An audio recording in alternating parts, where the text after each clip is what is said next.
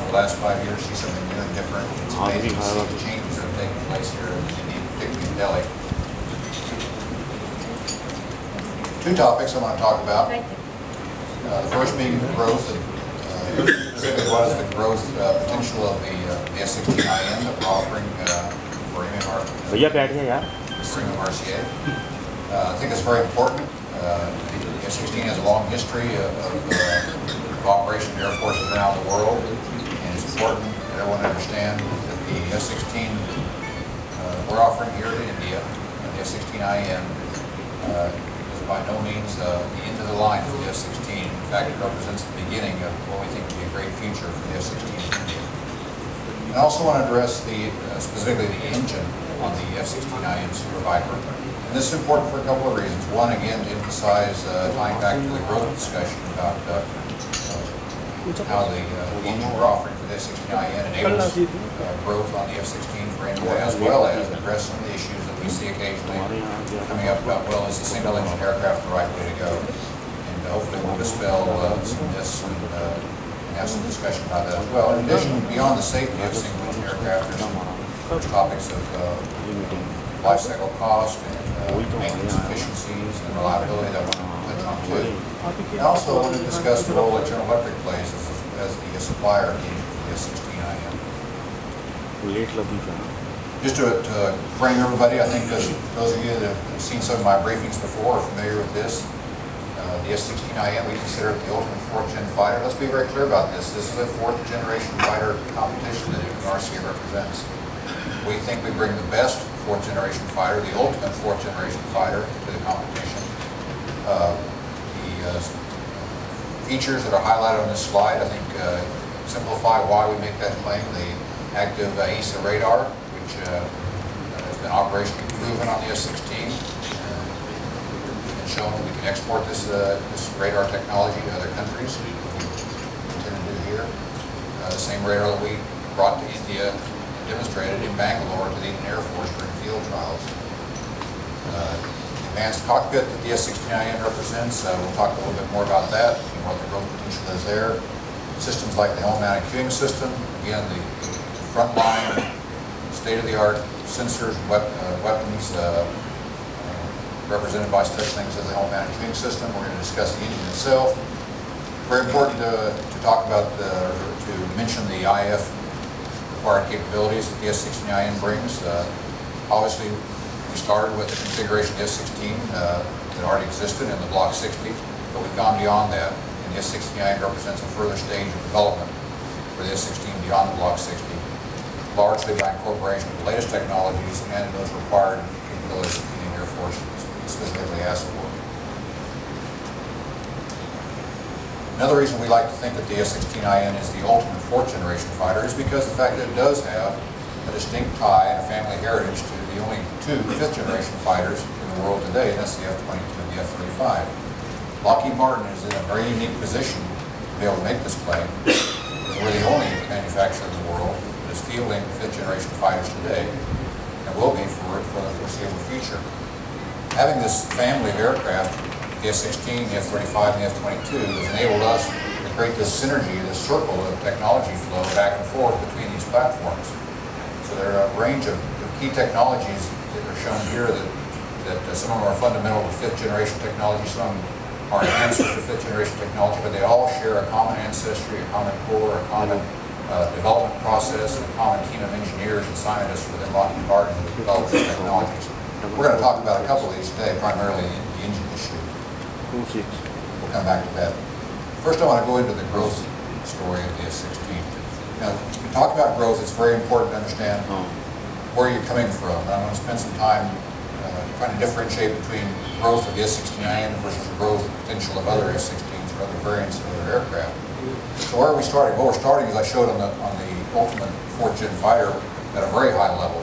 Uh, we've we've uh, continually been improving the F-16 throughout its entire life, and we've gotten it to the stage now where we're confident to offer the F-16IN to India is the most advanced F-16 ever produced. Has capabilities far beyond any other F-16. The engine, which we'll discuss, improvements in range, additional weapons meet the requirements of the Indian Air Force, We've done any necessary upgrades to the avionics system, again, to provide the capabilities that meet the requirements of the MMRC RFP. Changes to the sensors, the cockpit, data links, all this to to elevate the F-16IN to a step beyond any other F-16 that's been produced. So we're starting with a very high level of capability from which to grow. Now, why is growth important? Well, the F-16 will fly for a long time. Typically, we rate the F-16 for 8,000 flight hours. That's a lot of, of, uh, of uh, span of years that the F-16 will operate in. We have uh, aircraft within the U.S. inventory, U.S. Air Force inventory that are, have gone even beyond the 8,000 hours and will be flying for uh, uh, upwards to 40 years projected before they retire. So you got a lot of time there. Exceptional long service life. But during this time, this 40 years, let's say, of service life, 8,000 hours, flight hours, there's going to be a lot of reasons to upgrade the aircraft. I've I've listed there expanded mission roles. Uh, For instance, uh, in uh, current operations the F-16 is involved in in Iraq and Afghanistan, for instance, we're continually finding new roles, new missions for the F-16 to fly. And so we're making continual changes to the U.S. Air Force F-16s in the field in many cases to allow them to better adapt to some unique missions requirements that are driven by the, uh, the the environment they're operating in. So this is real-time and, and very easy to accomplish these on the F-16 because we do have a growth-oriented architecture. Improved combat capabilities, a prime example of this is incorporation of new weapons within the U.S.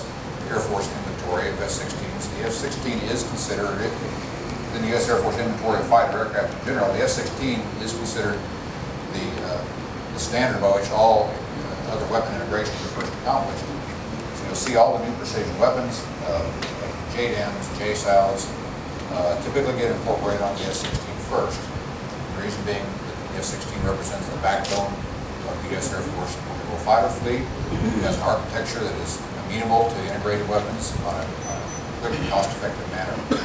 So weapons, uh, new weapons are always coming on to the F-16 to improve combat capability.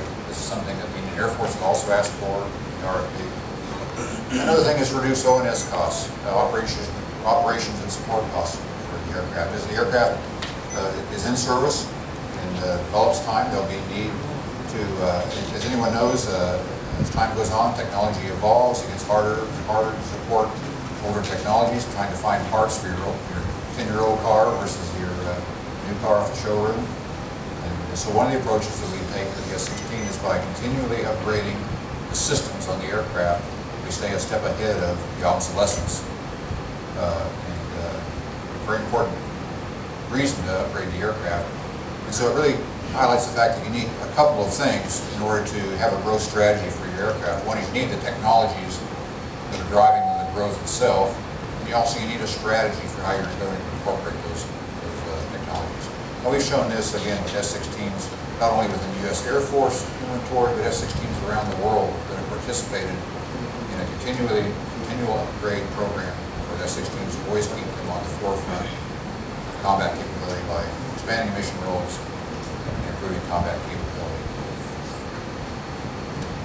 What have we done to the F-16IN specifically to uh, enable this kind of growth? There's some distinct architectural features of the F-16IN, and I've highlighted three of them here. For instance, the use of commercial off-the-shelf processors, which is uh, shown here by COTS. So the same processors that are going into the, into the computers commercial world today are going, into the F-16. So this puts us on a much faster uh, uh, evolutionary platform, evolutionary basis for expanding the processing capability of the F-16 as opposed to dedicated military processors that the previous aircraft version used. We've incorporated an advanced fiber optic network in the F-16IN. Again, by taking advantage of rapid advancements in technology in the commercial world, incorporating that into the F-16IN gives us a a data backbone, if you will, of allowing us to uh, hook systems together, transfer the massive amounts of data that today's roles and missions require, and the sensors we brought on board the aircraft to to uh, effectively take advantage of that. Another example is the use of uh, digital video throughout the uh, F-16IN. So all the displays now are digitally based, video is passed across, digitally across the fiber optic network. That allows us to do things like high-resolution picture within picture displays that we shown here.